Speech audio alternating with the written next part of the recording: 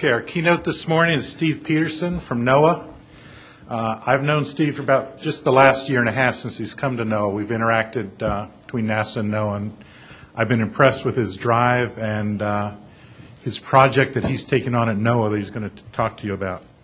He has about 40 years' experience in engineering and management responsibilities working at the Air Force, the NRO, and I know some people here know him from his NRO activities, and now at NOAA. Uh, As I look through his resume, what he has, what his responsibilities have in common, though, is a push for new technologies, a push for new ideas, but the other part is the push to get those transitioned into operations, and what are efficient methods for doing that.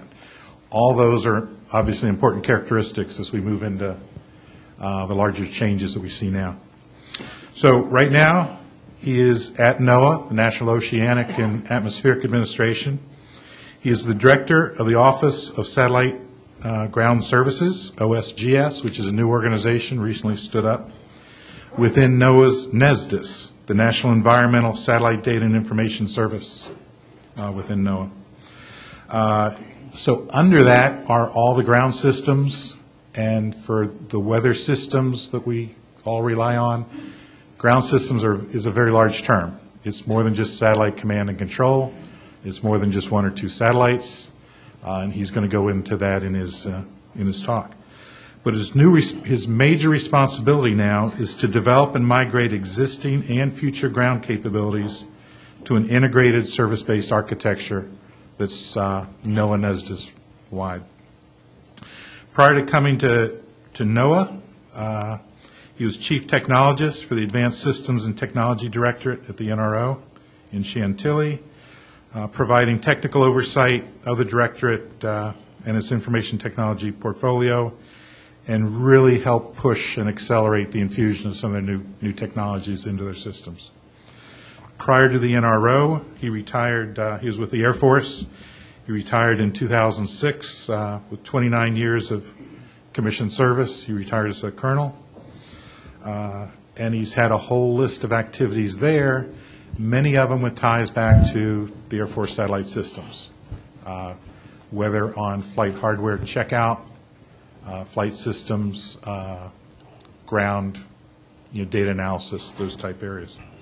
So he actually flew on the C-130 and other platforms as a flight test engineer, uh, developing equipment used for the aerial recovery of deorbited satellites. He was the Director of Engineering and Support with Air Force Space Command 73rd Space Group. He organized and directed uh, many of their technology development programs with Space Division, uh, Ballistic Missile Defense Organization, Air Force Research Labs. Know, his- the resume goes on. But again, all these had to do, he's very much uh, pushing the technology forward, pushing the actual use forward, and he understands the management and the, the transition issues that go along with trying to get new systems uh, adopted. So, Steve, come on up.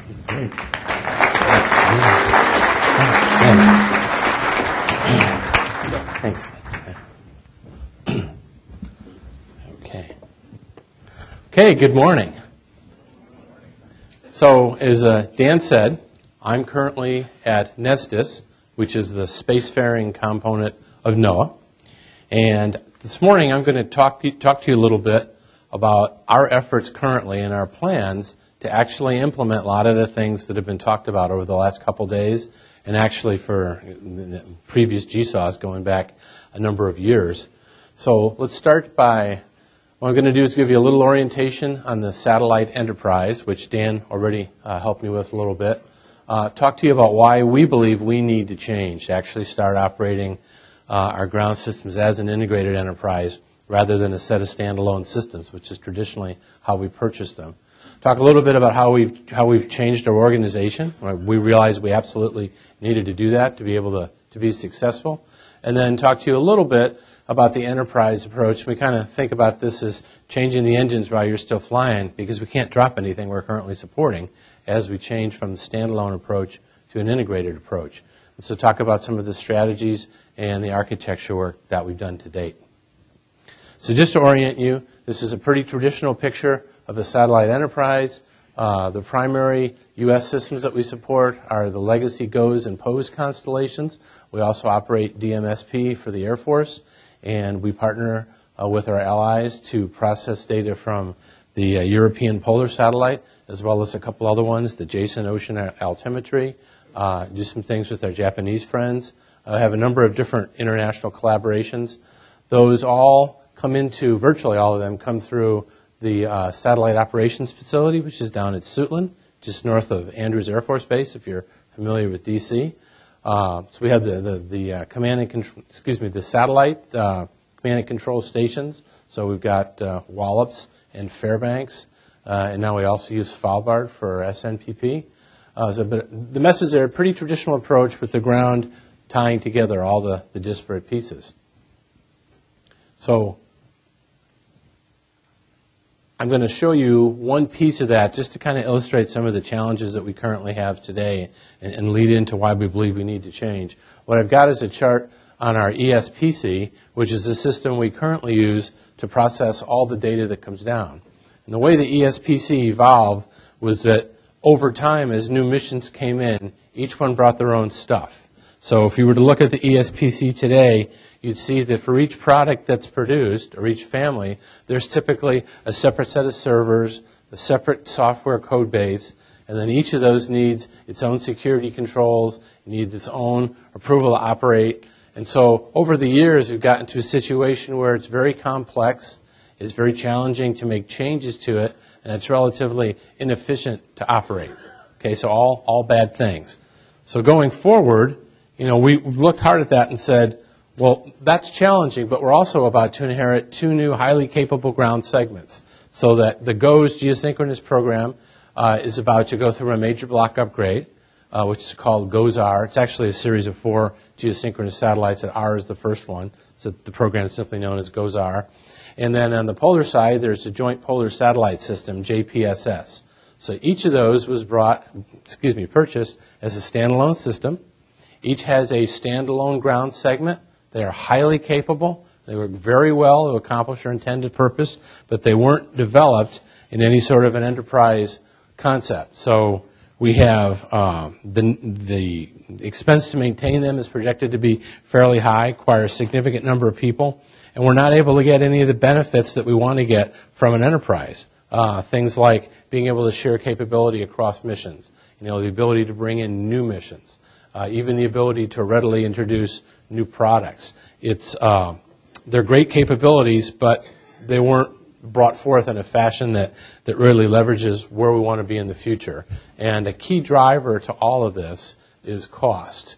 Okay, Cap- new capability is great, but besides the new capability, you know, the leadership is really, really focused on cost. And the thinking is we've got these defined requirements that we're going to meet, and we've got to be able to find a way to bring those down uh, especially with the advent of the new systems. And so we have a vision, which I'll go into detail in, in, in, a little bit more in a moment, about this future ground enterprise. And basically, that's a much more flexible, agile enterprise, has a concept of operation that allows us to be a lot more responsive in the way we make changes and enhancements to things. Uh, it helps us uh, to use the infrastructure much more effectively, you know, sharing it across multiple missions when it's not, not used by one, you know, share it with the other be more efficient in terms of how we do sparing and logistics.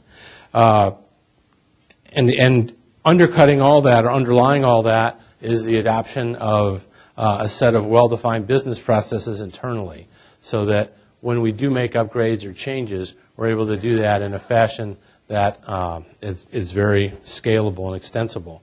And so what that really translates to in the enterprise, there's two pieces to this, right? There's the mission success piece, piece that we really care about as operators, and then there's the cost effectiveness piece uh, that our leaders are really, really focused on as we move forward. And some, in some cases, changing the way we behave impacts both of them positively at the same time. So things like uh, eliminating redundant acquisition of common functionality. Okay, if you remember that picture I showed on the ESPC, all those different missions, each one performs the same sorts of functions whether it's orbital dynamics calculations, data ingest, memory management. There's a whole variety of functions that are predictable that our, that our sys- ground systems perform that are replicated each time a new one's brought in. What we want to do is get to the point where we have a set of services that do those functions once. And then we maintain one set of services, one set of code, rather than multiple similar sets of code, which should cost us quite a bit less than in the long run. Uh, typically, the costing for software maintenance, the, experts would tell you that it's linear with the lines of code to a rough degree. So if you can cut the amount of software you're maintaining by a third or a half, you should see very significant savings. And when you extrapolate that out across a 20-year life cycle, if you save five or 10 million a year, 10 times 20 is 200 million dollars, which is a lot of money. And so we're looking hard at how can we move to a much more um, cost-effective approach. And uh, common software and hardware environment helps us deploy new capability. And I mentioned some of the business process changes that we're trying to get to. So from within the enterprise, that's kind of the vision of why we really want to change. Okay? From a little bit higher, the leadership perspective says that, that we absolutely need to change, but you got to do that in a fashion that doesn't drop anything at all.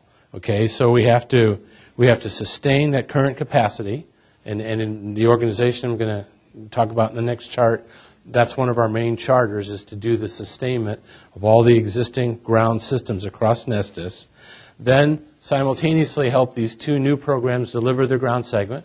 Uh, in the case of GOES-R, they're start, they've gone into testing, and the launch is in about a year. In the case of JPSS, they have the last year of software development still ongoing during FY15, so we're, we're a couple years from launch. We have to help them, and then after those transition to ops and sustainment, then we're going to really fully implement uh, this GEARS construct. And, and the way this is going to work is my organization currently is responsible for sustainment of all the legacy ground systems. So we don't operate them, but we do make upgrades to them, add new capability, do tech refresh cycles, those kinds of things. What will happen is, at a period after launch, and each of these new satellite constellations begin, we'll get responsibility for the ground system, and we have to carry that forward.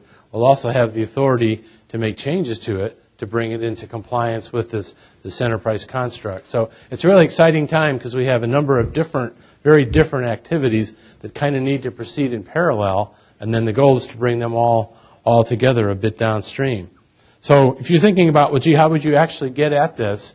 The good news is there's no technology limitation to it, as best as we're aware. There's no unobtainium, right? There's nothing we have to invent. Everything that we're going to use has been used in industry and in government multiple times before. You have to do the system engineering right, but there's nothing there that, that's undoable. So that's the good news. The other news is it's going to require a lot of change on the human level.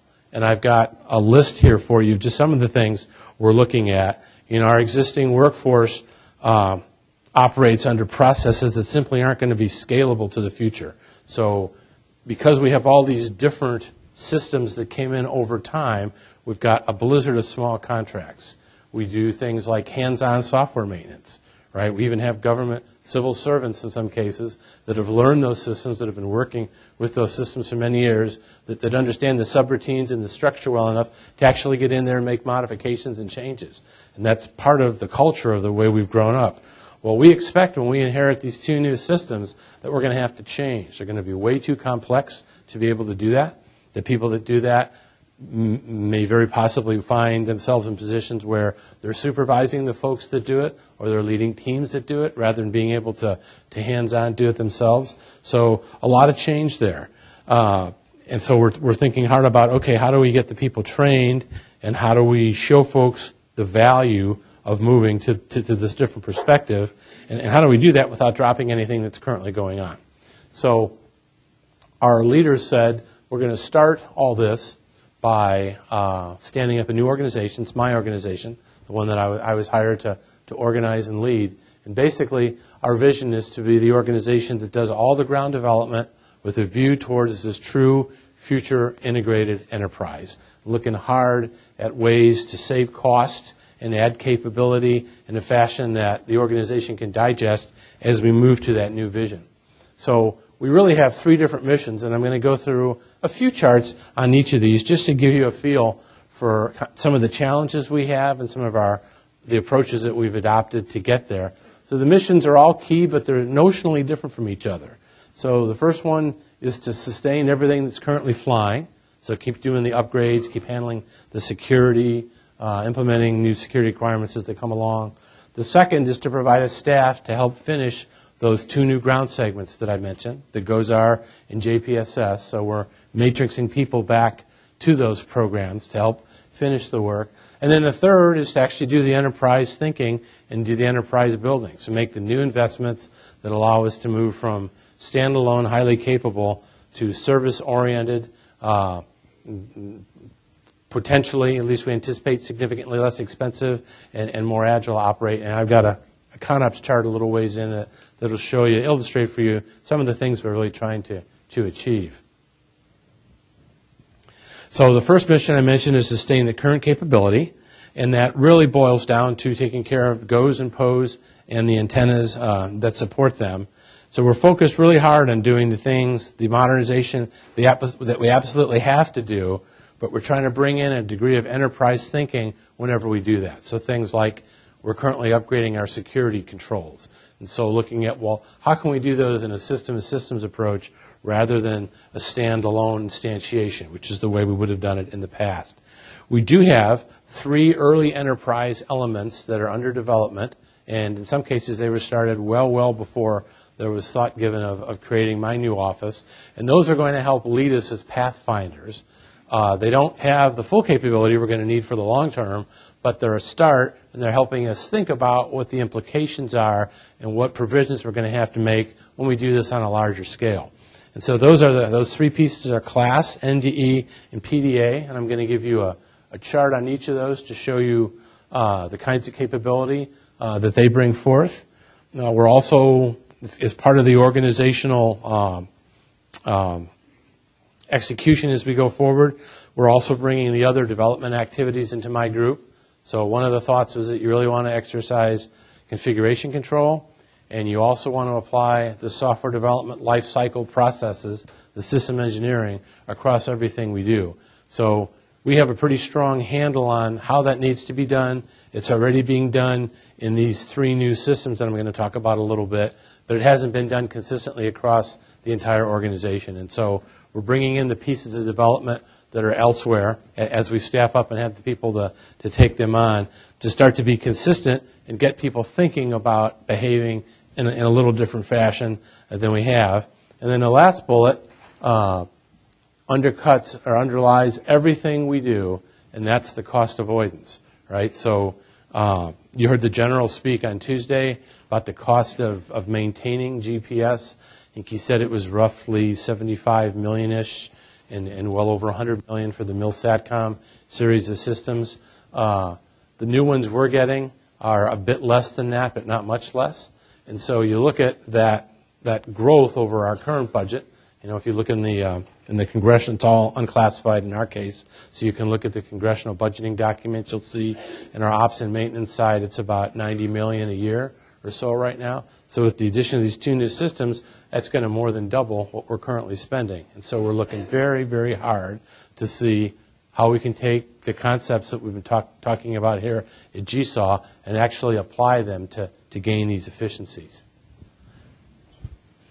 Okay, so ESPDS is basically our modernization of that Environmental Satellite Processing Center, the ESPC that I showed you right at the, the very beginning, the center that has all the, all the different processes um, in, in, a standalone, non-integrated fashion.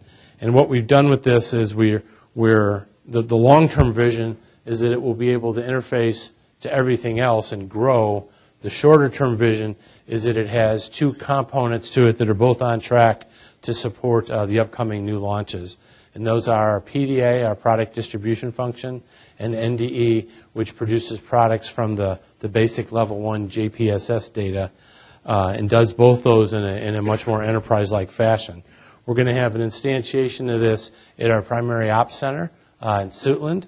We're also building a consolidated backup center in Fairmont, West Virginia, and that has backup for JPSS processing. It has backup for GOES-R and downlink as well as the processing. Uh, and we're going to have uh, an, an, ESPDS uh, instance there as, as well. So ESPDS is built upon a SOA, and this is one of those early, early enterprise elements where we knew that we wanted to, to start developing systems in a different fashion.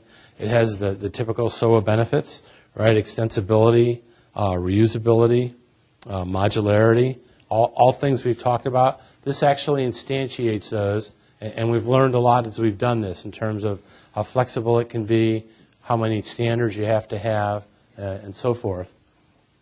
A key part of that is PDA, product distribution and access. And basically, the, the, the purpose of PDA is to help us be much more efficient, both in terms of people and equipment and comms bandwidth. So if you remember the, the first chart I showed you with the ESPC, with all those different missions, well, over the years, each mission cultivated its customer set, and each mission put in separate comm lines to what were typically the same types of destinations. And so our CIO organization took a good hard look at that and said, you know, if we were able to have just one central distribution system, we could buy much larger pipes to each of those places, much more economical than buying a whole lot of small pipes. And in doing, we could also structure a system where people are able to manage their own subscriptions. So instead of a 24 by 7 help desk that requires a couple of people to field inquiries from the folks in the field, that either aren't getting what they need or they want to change their requirements. Now we're going to have a system where, as a user, you'll be, you'll be put in a user class that has an allocation of services, and then you decide what you want, and you decide when you want to change it, and we don't have to pay that staff to service those needs. So it's more flexible, it's more responsive, and it's less expensive. So PDA is a key part of that. Uh, another piece of it is class. Class is our new archive system.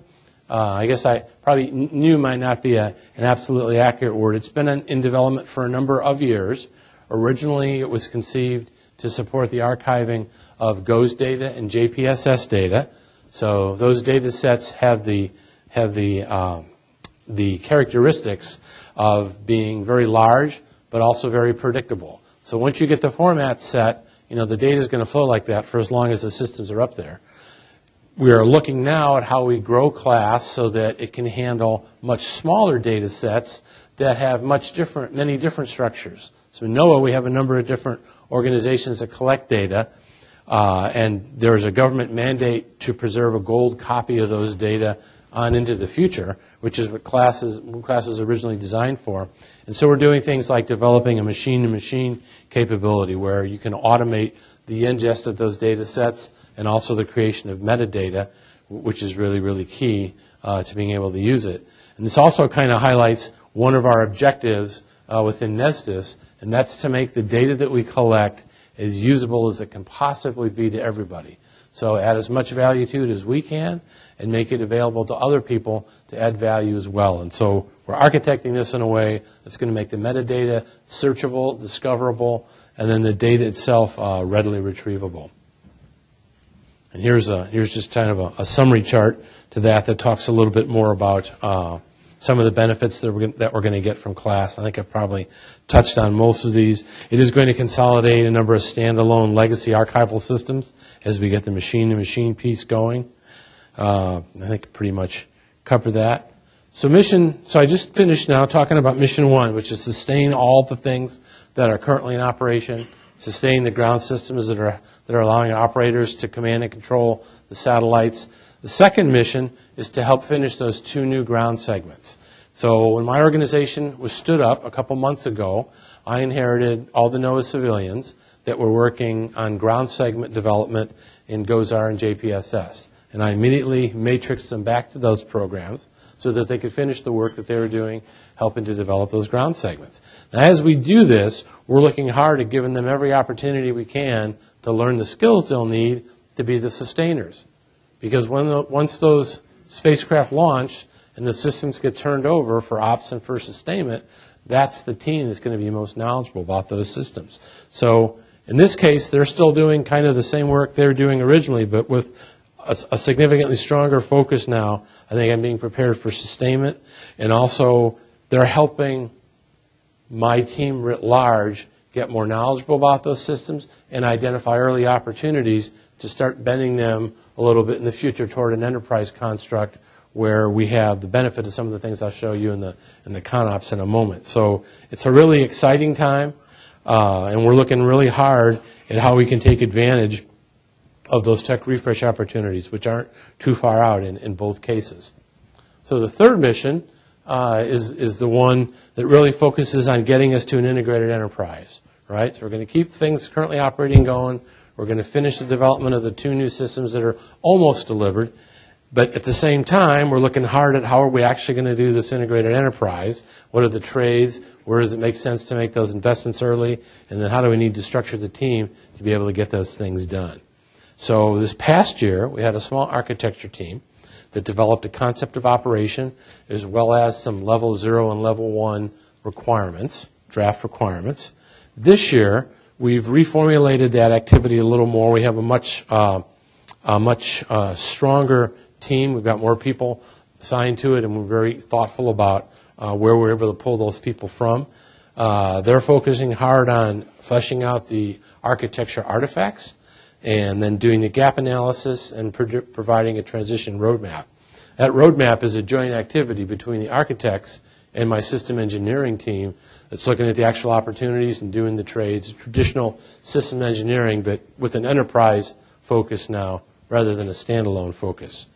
Uh, and I think that pretty much, and, and then subsequently, we're going to we're to actually make investments and, and develop services and, and, and migrate to that. So here's the ConOp. This, this document's been really key to our whole endeavor uh, for a couple reasons. Number one, it describes the capabilities that we want to bring forth so that people can understand why we really want to make these investments. But I think the most critical part of it by far is the use cases. So we're using this as a vision document and also something to get folks to rally around to help us move forward with these changes. And if you're on the receiving end of this, you know, you really want to know how is this going to impact me? How is it going to make a difference? Why should I go through the pain that's going to be necessary to uh, make some of these changes? And so we've got about a dozen different use cases that capture pretty much everything we do in the enterprise if you were to look across a year or two of, of behaviors. Everything from day in the, a typical day in the life where maybe you've got to f- switch a couple of contacts or you've got to, you've got to uh, adjust your op schedule based on some equipment failures all the way to uh, integrating a new mission, integrating an, an external data product, uh, transitioning a research satellite into ops. We've done that a couple times in the past. Uh, creating a new data product, uh, developing new algorithms is a very common thing we do today, and, and it's somewhat of a challenge because each system is different. Uh, calibration validation, and even adding new common capabilities. So there's something in there that touches just about everybody that works with the enterprise, and we're using that as a way to illustrate what the benefits are going to be. Just to give you kind of some context, I put together, this is my only metrics chart, just to give you kind of a feel for what we're taking on. In the upper left, you'll see in the, in the light blue um, the description of what we've got in the, in the current enterprise, about 12 million lines of code, a few hundred servers, uh, and I use lines of code and servers just as a couple of metrics to kind of help you sort of grasp what we're trying to do. In the upper right in the yellow, you've got the three new enterprise elements, the early enterprise elements, right? They're bringing a couple million more lines of code, a few hundred more servers. And then down on the bottom, in the, in the, the, uh, the red and the purple, those are the two new systems that we're about to inherit, right? GOES-R is going to launch in about a year, JPSS a year after that. And you can see in the case of GOES-R, you know, they've got uh, not a tremendous amount more code, still almost a couple million lines of code, but you know, well, um, roughly a thousand servers. The JPSS, again, we've got hundreds of servers, six million lines of code in that case. So the message is we're, we're adding another 50% LOC to what we already have, and, and actually more than that operationally because of the 12 million. A lot of that is legacy stuff that, that doesn't play a current role in the enterprise. We're adding an awful lot of hardware. So the question is okay, how do we bring this together and really convert it into an enterprise? So, in terms of, of the enterprise approach, uh, the common service, we're going to move to a, a services oriented construct. And there's really two kinds of services. There's the common services that we talk about a lot, available in any application. They're in the service registry. Uh, those, they exist based on a service level agreement that we, where we establish that we'll maintain the performance of those to a specific level. So when a new satellite program comes, uh, it's able to, to, to predict the kind of support it'll get. We'll maintain those as part of the enterprise. And then there's private services. So if you come in and you're doing something really unique that other folks don't really need access to, you don't have to expose those services as common services to everyone. You can choose to maintain them yourself, but you're still going to do it in a modular services-based way so that you can take advantage of the common services that you need and we don't have to replicate the whole thing. So during 14, we did take an initial look at, at uh, allocating services to different service suites, and I have some of those summarized here. Uh, there's a couple levels of, of, of, deeper breakout from that. Nothing here that would, that would be unusual if you've looked at other satellite systems. Virtually all of them perform many, of the same functions, and so uh, pretty straightforward. As we evolve, we're looking hard at how we're going to make investments, but the one thing that's clear is that we're not going to try to make a big leap. We're going to take this piece by piece, making investments where we can show a substantive benefit, and the investments are going to be primarily focused on those two big new pieces, plus whatever the legacy is going to be around long enough to make it worth spending money on it. And so what we'll wind up with in the end will be a bit different than what you'd get if you started with a clean sheet of paper. Okay, we don't have that luxury. What we've got is two highly cool, brand new standalone segments coupled with lots of legacy stuff. And so we're going to look hard at how can we create those services and start to move to them so that over time we get to the service-oriented approach, just like you saw yesterday in the ESA pitch, where they had 30-some different, com- different capabilities. Uh, if you talk to the teams that developed that, you'll discover that they did it by piggybacking on new missions. Each time there was a new mission, they'd use it to develop one or two of those so that over time they evolved. It wasn't, wasn't a big bang monolithic approach, and it wasn't to go back and retrofit everything you got. So we're looking for the opportunities where we can show a substantive benefit uh, and change. And so this, uh, is almost my last chart, and I wanted to use it to, to highlight the importance of addressing cost. We're looking at every possible source of cost and asking ourselves, how can we make progress bringing those down? So in the area, in, in operations, labor, you know, clearly automating common functions, adopting a common user interface, so training is much easier, and you, you don't have to you don't have to have perhaps as many different crews.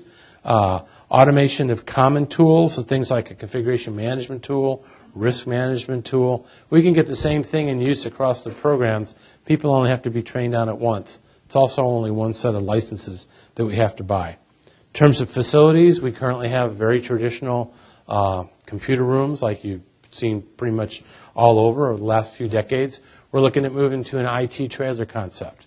Okay, industry's done this for about two decades now, and there are actually small towns up in the northwest where the power is really cheap, where there are buildings that consist pretty much of nothing but IT trailers that uh, the big IT giants have have used for many years to, to cut their costs and be competitive. We're looking at bringing some of that into to our enterprise. Uh, in terms of, of services, we've already started to move toward NOAA's N-Wave network, which is a much less expensive uh, alternative to AT&T and, and, and, folks like that.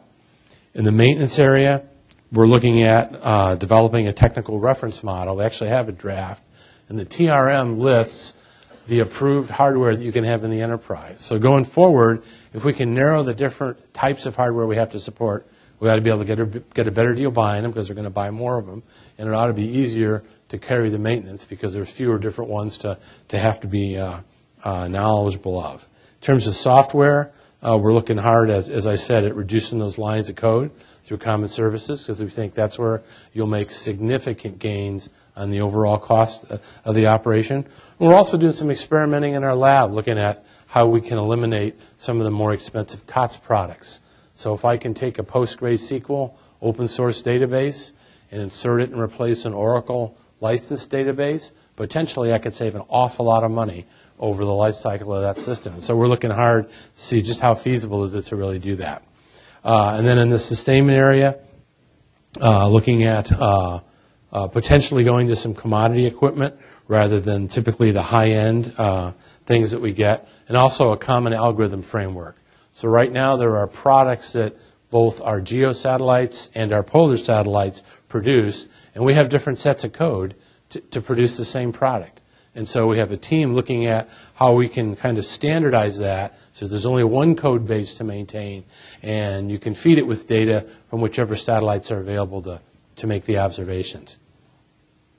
So in summary then, I've talked to you about how we're, how we're seeking to execute these three separate but interrelated missions, having to, to uh, keep everything sustained that we're currently doing, bring forward those early enterprise elements, uh, a little bit about our enterprise, which we call GEARS, our enterprise solution, which is the transformation of all that. And, and hopefully, if, if nothing else, you remember that, that cost avoidance is really, really critical objective that, that really drives uh, everything that we're doing. The, the cap- new capability part is great, but ultimately the leaders are most focused on seeing us work to existing requirements and really bring down that cost. So thank you for your attention, and I'm happy to take a question or two. Thanks. Yeah.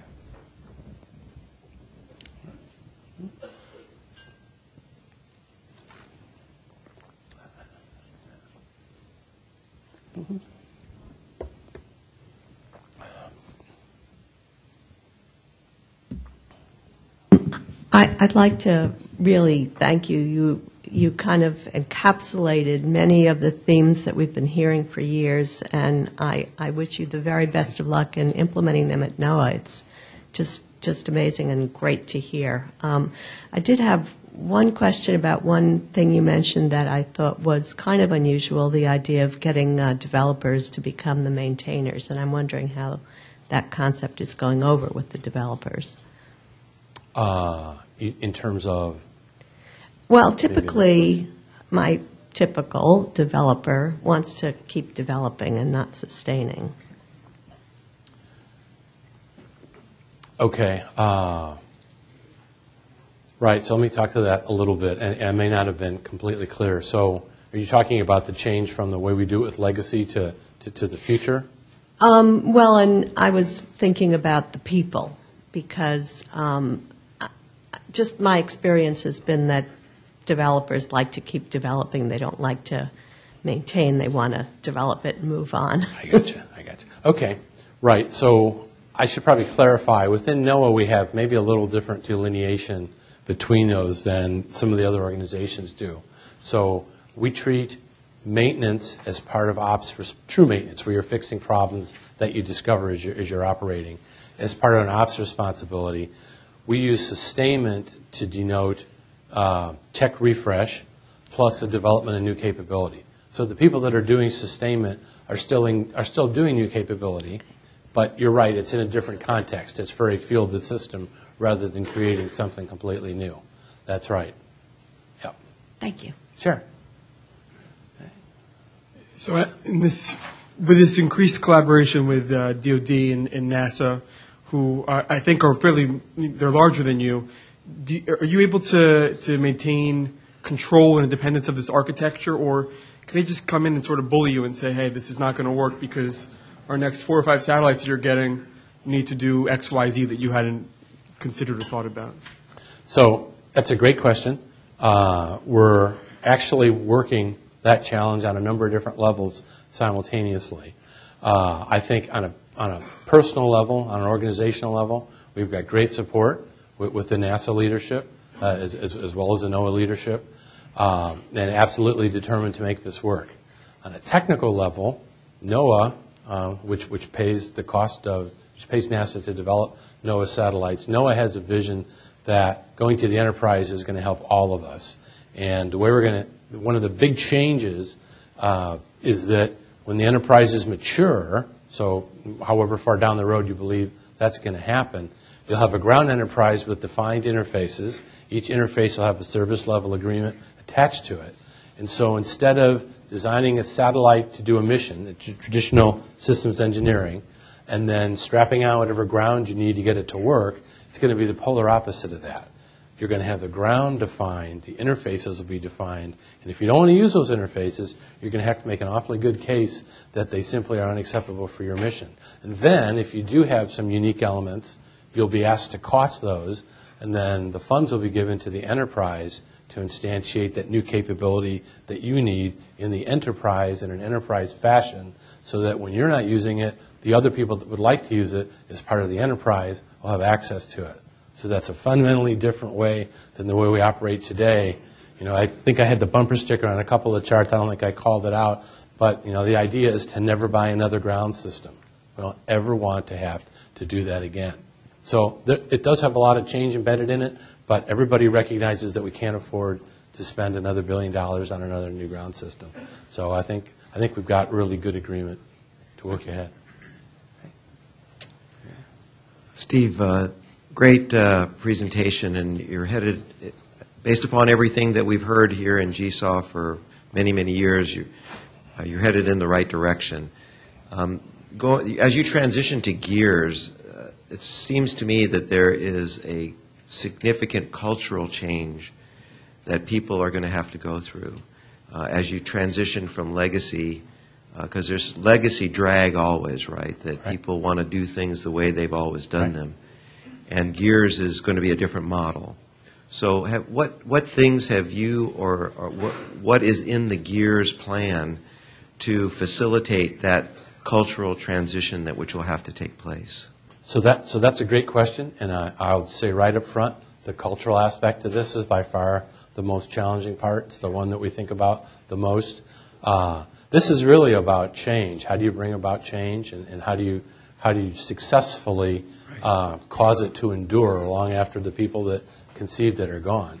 So we're doing a number of things, uh, which I think in some will give us a really excellent opportunity to be successful. There are, so things like uh, using the CONOP to illustrate to people that there are benefits for them, that it's not just a negative in you know whatever ways they're most familiar with. Uh, taking it in small pieces, so there isn't this dramatic change. It's a piecewise change over time, where we have an opportunity to learn. And some of the things we're going to try probably aren't going to be completely successful. So kind of like agile programming, right? If you take it in pieces, you can learn from, from what you've discovered and then use that to revector yourself. So it's taken it in pieces. It's being very sensitive to the human dimension. You know, things like automation, what I want to be able to do is to give the people that are currently in roles the opportunity to go to maybe a more engaging role or more something that they would define in their own mind as a more value added role, mm-hmm. something that, that gives them at least as much gratification as what they're currently doing. So that there's a lot of positives to this if we think about some of the challenges to it and plan for them as we go through. If I could ask one quick follow-up. Sure. Uh, At the NRO, they talked about identifying a ruthless ruler in the transition. Yes, Are you that ruthless ruler? I'm not ruthless. Okay.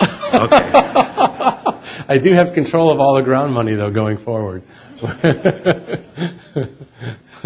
So, sir, my, my question, I think, is along the lines of the ruthless ruler. You had a, a comment or a bullet in a previous slide just prior to this, and maybe I'm reacting to the absolute nature of that bullet, eliminate COTS.